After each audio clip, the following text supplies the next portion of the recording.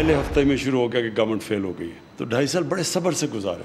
बड़ी मीडिया में तनकीद हुई और अपोजिशन तो खैर मुझे पता था, उन्होंने तनकीद करनी है, जब तक एन आर ओ नहीं मिलना।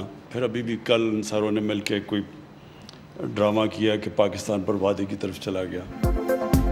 हुकूमत आते ही पहले हफ़्ते में हमें नाकाम करार दिया गया। ढाई साल बहुत सब्र से गुजारे। वज़ीर आज़म इमरान खान कहते हैं, मुल्क में हर जगह माफिया बैठा है।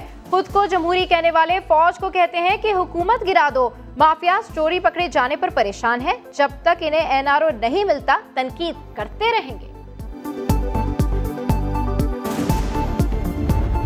इंतज़ार कर रहे हैं उस बजट का, जो अगला हफ़्ता पेश होगा, और एक लात मार के वो आईएमएफ के प्रोग्राम से निकल जाएँगे। ये तो अब खान का मौका है, पैसा भी है, मीशत तरक्की भी कर रहा है। तो वो तमाम पाकिस्तान के मिसाइल एक हफ़्ते के अंदर फिर हल करने वाला है। बिलावल भुट्टो का मीशत पर तंजिया अंदाज, कहा, मुश्किल वक्त वज़ीर आज़म के एटीएम्स के लिए खत्म हुआ है। सब अच्छा है तो फिर आईएमएफ से निकलें। पीपल्स पार्टी दौर की तरह तनख्वाहों में 100 फ़ीसद इजाफा करें। फौज की तनख्वाहों में भी एक फ़ीसद इजाफे का मुतालबा। बोले वज़ीर आज़म तो कहते थे नब्बे दिन में एहतसाब होगा। आज रायवन का वज़ीर आज़म लंदन में बैठा है।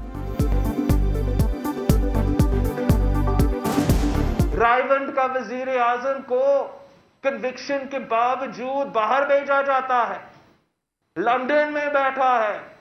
इस इंसाफ का निज़ाम में, इस एहतसाब का निज़ाम में, इस नया पाकिस्तान जहाँ एनआरओ नहीं दिया जाता है। बिलावल भुट्टो के वालिद भी आईएमएफ के पास गए थे। आपके दौर में अवाम लोड शेडिंग और गैस को रो रहे थे और आप मीशत को रो रहे हैं। वज़ीर ममलिकत फरूख हबीब के जियाल कायद को जवाबात कहा। बिलावल की मिसाल, नाच न जाने आँगन टेढ़ा वाली है। खुद इन्हें गलत आदत शुमार बताए जा रहे हैं। सिंध का तो ये हाल है कि जितनी बड़ी करप्शन इतना बड़ा होता आपको कर्जों का डर है तो स्विस बैंक का पैसा वापस ले आए।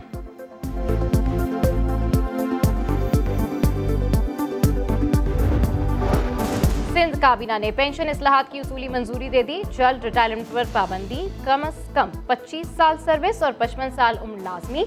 आखिरी तनख्वाह के बजाय तीन साल की औसत तनख्वाह के हिसाब से पेंशन लगाई जाएगी। पेंशन सिर्फ़ next to kin family members तक महदूद होगी।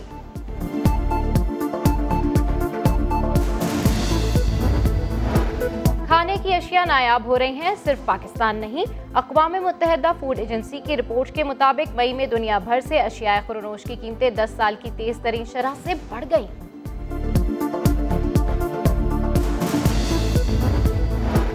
और दौरा इंग्लैंड और वेस्टइंडीज के लिए कौमी स्क्वाड्स का ऐलान हारिस सुहेल।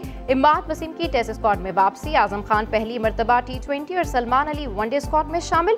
यासिर शाह की शमूलियत फिटनेस से मशरूत। पाक इंग्लैंड पहला वनडे 8 जुलाई को होगा। Pak West Indies T twenty series 27 जुलाई से होगी। चीफ सिलेक्टर मोहम्मद वसीम कहते हैं, नए खिलाड़ियों पर नज़र है। टीम में बैलेंस लाना चाहते हैं। हर खिलाड़ी स्क्वाड का हिस्सा नहीं हो सकता।